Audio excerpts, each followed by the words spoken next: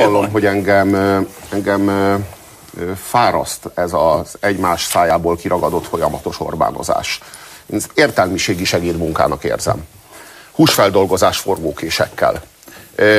Semmi, semmi tétje nincsen. Észre kéne venni, hogy ez már át lett ütve ez, amit itt csinálunk, hétről hétre, folyamatosan ez már át lett ütve. A magyar társadalom 60%-a elutasítja Orbán Viktort és rendszerét. 40%-kal tartja magát hatalmon Orbán Viktor.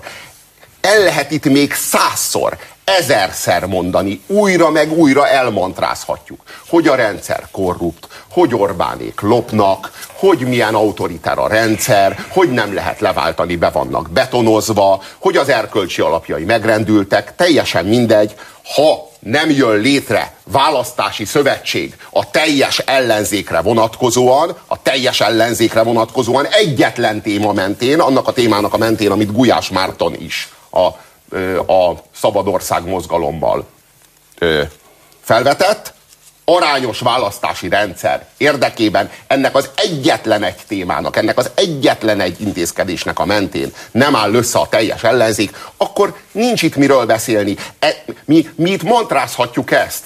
Újra, meg újra, meg újra feldolgozhatjuk Orbánt keresztbe, hosszába, kicsontozhatjuk, kizsigerelhetjük. Ebből nem lesz kormányváltás, mert itt ez már át lett ütve. Orbán rendszere az emberek 60%-ának a szemében megbukott. Az összefogást kell átütni, csak hogy azt nem az embereken, hanem az eliten kell átütni. És hogyha ez az a kérdés, hogy miért nem lehet átütni az összefogást az eliten, akkor arra az a válasz, hogy azért nem lehet, mert az elit igazából eh, bankot akar robbantani mindegyik pártbankot akar robbantani. Nem akarja leváltani a NERT és egy demokratikusabb berendezkedésben működni, hanem bele akar ülni Orbán Viktor megürült helyébe, és meg akarja örökölni a NERT. A társadalom a NER helyett akar egy demokratikusabb berendezkedést, mert nem egyedül Orbán Viktorból van elege annak a 60%-nak, hanem ebből a gyurcsányjal és utódpárttal terhelt,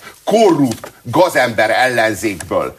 És nem csak ebből, hanem a saját értelmiségéből, mert itt nem csak az ellenzéki elit az, ami impotens, hanem az ellenzéki értelmiség egésze.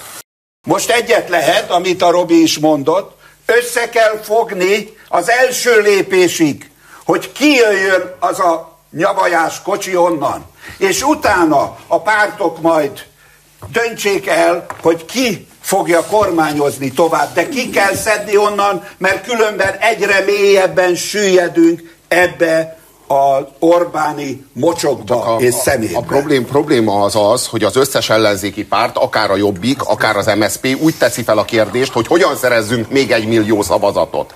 És folyamatosan a társadalom megdolgozása zajlik. Holott nincs szükség még egy millió szavazatra, nem kell. Megvannak a szavazatok. Már csak arra lenne szükség, hogy ezek a szavazatok, ezek, ezek ö, be legyenek csatornázva egyetlen egy politikai akaratba, abba, hogy Orbán Viktor távozzon. Vajon mit kockáztatnak az ellenzéki politikusok azzal, hogy várnak a válságra, a, a válságra, hogy végre jöjjön, és hogy az ölükbe hújjon a bank minden kincse? Ellenzéki együttműködéssel nem lehet bankot robbantani. Ők viszont nagyon jól megélnek a politikából addig is. Mit kockáztatnak? Ez hogy nem, nem, nem fognak össze. Várnak még egy ciklust, még két ciklust, ők tök jól megélnek ebből, előbb-utóbb jönni fog a válság, és akkor, aki épp polpozícióban van, annak az ölébe hull a hatalom, az a hatalom, amit Orbán Viktor már előre felduzzasztott a számukra. De akkor miért hogy az össze?